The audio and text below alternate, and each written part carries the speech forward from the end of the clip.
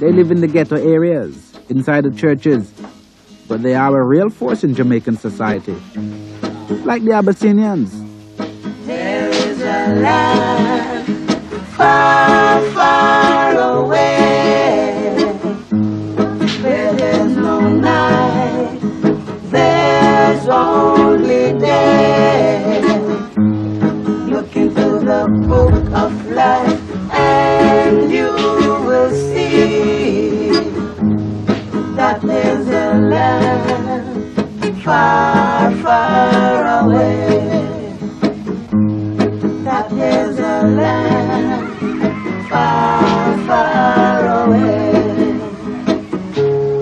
The King of Kings and the Lord of Lords sit upon his throne and he rules us all.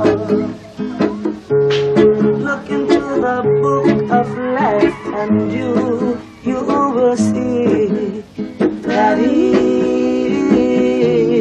rules us all. That he rules us all. The songs of the Abyssinians have become a spiritual thing.